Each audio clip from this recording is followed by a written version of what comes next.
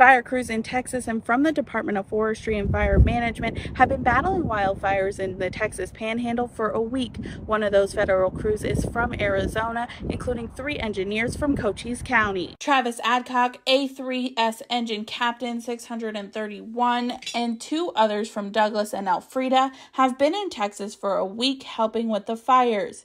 He says this is the biggest fire he had to fight.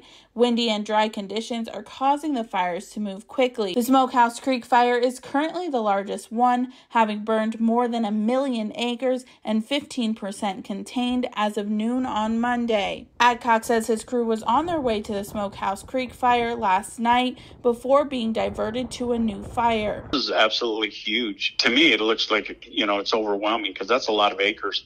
Over a million acres is and then like three or four different fires you know that engages everybody that can fight fire. Cox says he and his crew will return to Arizona on March 14th after completing the maximum time of two weeks allowed at a fire. He also says it's extremely rare for his crew to leave the state of Arizona before monsoon season.